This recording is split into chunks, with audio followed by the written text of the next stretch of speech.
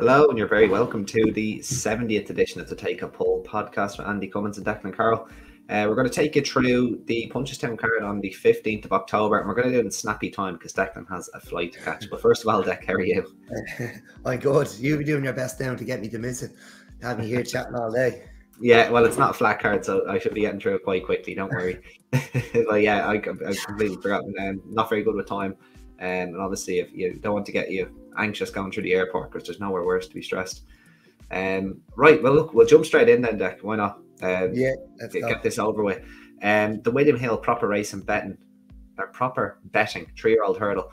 Um, not a bad old race here, and a horse that we've already talked about this season. Um, is going to, oh, well, it was going to line up here. I don't think he was declared just what Brian Horst was at the stall. Uh, name's mm. kind of going out of my.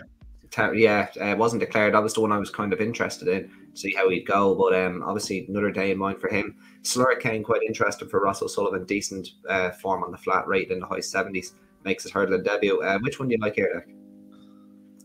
Um, yeah, Ross seems to be getting these these flat owners to take their horses jumping. Eleanor mm. Slurricane's on by Eleanor Kennedy, and he's had uh, I think Banana Tree has gone jumping as well for Amanda Torrance. So, um, good man, Ross. Uh, but look, yeah, I, I actually looked at this before Dex, Andy. I thought I was looking at it after Dex. And yeah. I I did like Terra Firma and the Code yeah. Blue was going to be um, quite interesting. Jigginstown horse that won uh, one of those AQPS races in France, uh, the flat races that they call French bumpers. But um, it I, I ended up on Solar Drive.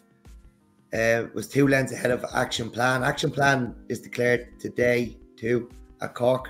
Right. Um, okay. So, yeah, look, having loads of interest in this race, but I, I can see I can see Solar Plan taking it based on you know the, the form we have on hand anyway. Yeah, a solar drive. Um, yeah, look, it's it's. Ah, you're okay. There is a, obviously a little bit of a weight swing, um, and it would be a nice little boost to Terra Firma as well. Um, obviously beating uh, well behind him at uh, Killarney, went on to win the next day. Um, he is probably going to be favourite I'd imagine there's going to be stronger three-year-old hurdles as we kind of go forward as well um, throughout the card. Um, it's always good to give a mention to anything like Churchill that goes hurdling because he has a, a, weirdly good record with the few hurdlers that he has. Um, and maybe some trainers and owners are starting to notice that in uh, in Fatwater, in Fatwater, I don't even know how to. I'm not going to go with that one. Infatuator. Infatuator. Jesus. Okay, yeah, I'm a, I'm a long way away from my uh, computer screen today. I'm in a different room. Uh, Chartwell Lady as well in there for um, Dermot McLoughlin too. So it'll be interesting to see how they run. Solar Drive probably is the, the one to be with, though. I would agree with you there. Um, probably not the best betting heat to go with. Um, but what will probably be a good betting heat deck is the next race in 80 to 109 two mile uh, handicap hurdle, the William Hill proper racing or pro- yeah proper pricing handicap hurdle. Um, yeah, like it, it a decent enough race, I suppose, for the grade. A few horses that have hit the crossbar last time out in the shape of a single edition uh, Targa Flavio and Say It First. So a couple of horses that were second. Uh, Mount uh, Anglesby as well, um, hitting the crossbar the last twice as well. So do you think any of them are going to get their turn here, Deck, or do you, do you fancy something else? Uh, well, it's, it's Mount Anglesby's uh, handicap debut, but um, mm. Danny is back on board. It's, it's quite interesting. Yeah. I, I thought Targa Flavio um, with the ground against him, ran quite well the last day. Now he was beaten 12 lengths and he, he still got two pounds. I think it's a little bit harsh. Um, this is third handicap run. He's going to appreciate this better ground. And um, yeah, I I think he takes this. I this horse definitely has has a win in him anyway. So mm. um, I was a nice run on ground. He, he wouldn't have been expected to handle the last day. So I, I think even though he's gone up two two pounds, he's going to appreciate this and he takes yeah it's, it's going to be him. Take the beat for me. he'll go close okay. I'll probably stick with the top weight mount uh, anglesby probably you know he's running decent enough maidens um as you said danny Mullins back on board and yeah he might just be a little bit better than the, than the 109 class. Probably a little bit unlucky not to have won a maiden hurdle.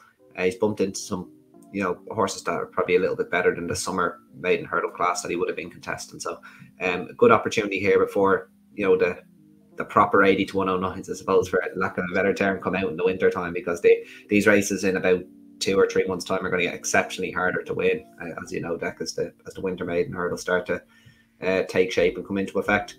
Um, onto the 320 then, which is the William Hill commitment to top prices hurdle. Um, again, this is a very small field, but it probably the race of the day in terms of the quality of horses that are taking part. Eagle Fang, uh, we've been a big fan of him last year. Great to see him back. Um, I'm very much looking forward to seeing how he, he does this season. Um, and then Aspire Tower feels like he's been around forever. Uh, Biker in, as well. Um, not the best season from him last year, but you know has the opportunity to maybe uh, go forward again this year. And then obviously Pied Piper, who's very favoured at the weights. Um, excellent effort at the Cheltenham Festival um, last spring. Maybe a little bit. Uh, you, you say he's been disappointing since. Uh, don't know if that's by design, deck, but do you think he's going to go and win this, or um, would you would you trust him? It's, it's these races are like we touched on it before we come on, Andy. It's it's very hard to trust who's off. Yeah, these races, isn't it? Like you know, mm. look, we, we take it. A, we, we look at a race like they're all trying. Eagle Fang, um, he, he has to give away a lot of weight. Like he's, you know, he's allocated 11, 11. Oakley Brown will take off five pound, but you know, it's a tough ask of a four year old to give a horse rate 155 weight. yeah, um, nine pounds know, to be exact. Like it's a, it is an awful lot. A huge, huge ask.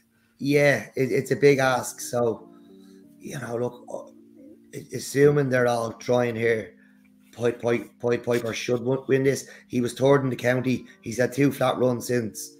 Like, so he's not unfair. Um, he should be winning this, shouldn't he? Like, he should be yeah. winning this easy.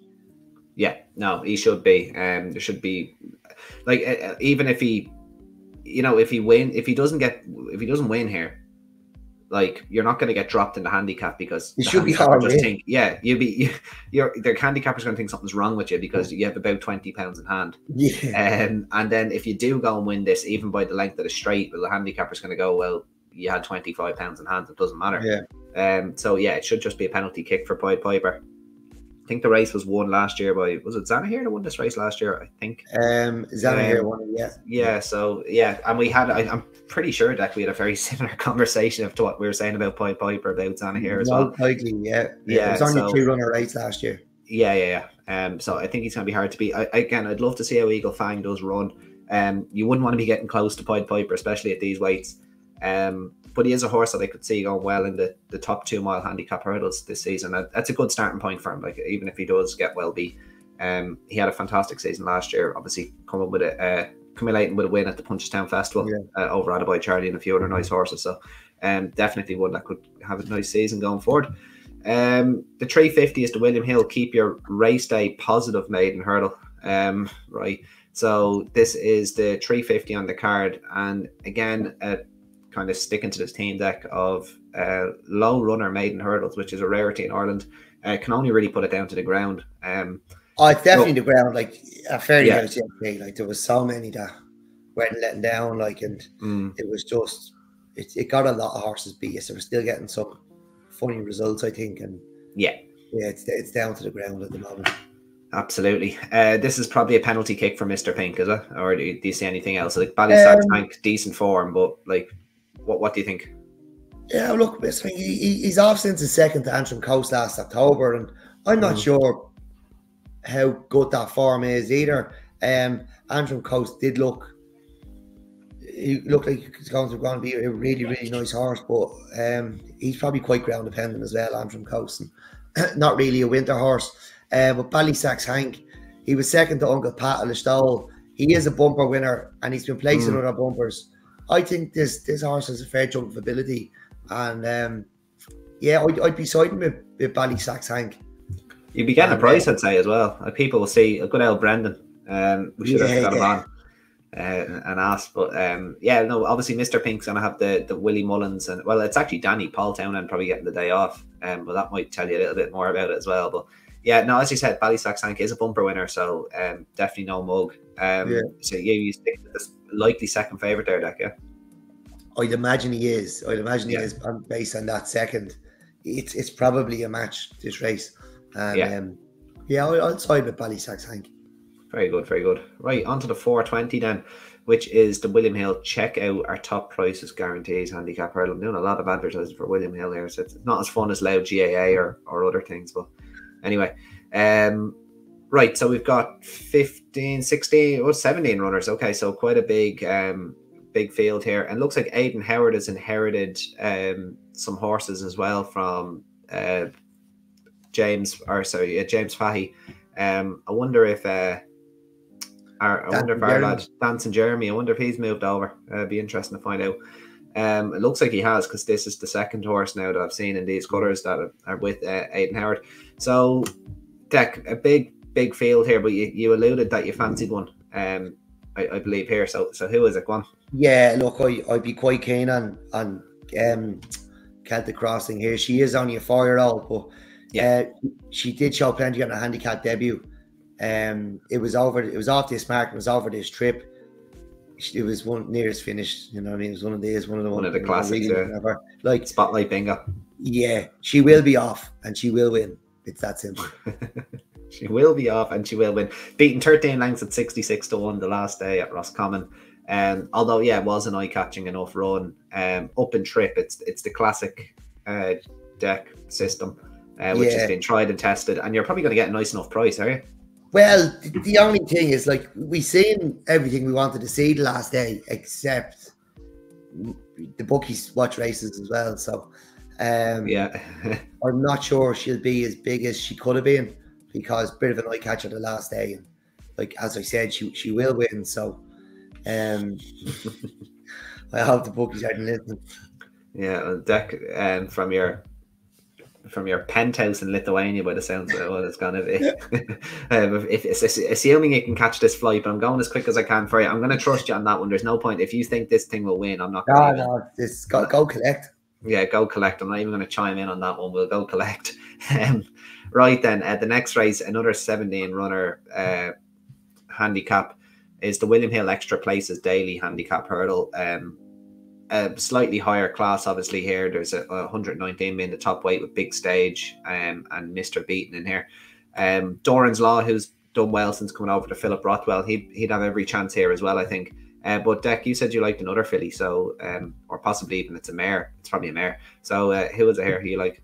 Yeah, uh, it's Folly Beach. Um, she she was placing two maidens now like she's obviously shown her hand a lot more than the filly in the last race. Um, mm. and the maidens, one that was over two miles, the other was over two mile four. Uh, she made her handicap debut when she was toured off this mark over two mile six. She was flying home. She stepped up a, another furlong here, two mile seven. The mark might be a little bit harsh, but she's shown she can run well off it. And and when you know if she is off and she's asked to go win a race, I'd imagine she will win it off this this mark. But look, probably doesn't have as much in hand as you would need it in some of these deeper mm. winter maidens. Oh, sorry, winter handicaps. But it's a very winnable race. I I think she'll. Yeah, that's the double. Folly Beach, right? Uh, well, look, if, if you're that confident, I, I would be in tentatively with Doran's Law, who's who's enjoyed a decent season so far, and a, a horse that I liked when he was actually, um, I think I tipped him once at the stall quite a while ago. Um, I think he was he was I think it was his second start after he'd ran behind Walkaway Harry in a bumper. Um, yeah, he was third um, the last day of the stall. Yeah, and look, he's some nice form in the book. Um, up two pounds for that, which obviously isn't ideal, but those Listowel handicaps, um, when you're talking about kind of out of season form, uh, out of season handicap form, it's the Listowel form and the Galway form is what you really want to kind of look at usually. Um, um so it's, it's unsurprising he's gone up in the weights, but um, I'd say Doran's Law take a, a, fair bit of beating there, but Deck, you're obviously confident in Folly Beach, so um, I, yeah, guys, I, just keep an eye on that. I will be having a decent bet on on the two of them. Nice. The yeah, very good. Be, like unless you're gonna be totally scuppered by the ground. So yeah. you, you know, get get that hose out, Punchestown. Get the hose out. Get the hose out. right. Finally, the other Stallion Farms EBF Mares uh, flat race is the last race on the card deck. Uh, I don't think you ever have a bet in the bumper, neither do I really. So, um, only if we've won loads of money or lost loads of money. Right, and is this Mummy Derry's to lose? Obviously, bumped into a nice enough horse at the Galway Festival in the shape of uh, Meth Methiel. Um, and I believe he runs today. We're recording on a Sunday here, Sunday yeah. just after declarations. I believe he's to run at Cork, um, and is well fancied to go and win at Cork. So, um, do you think he Mummy Derry's likely winner here? Um, couldn't tell you, Andy. Didn't look Couldn't tell you. Well, I, would say I'd say she is uh, to, to put it to it put it lightly. Probably going to be a shade of odds on to win the last, um, but I suppose a winner is a winner.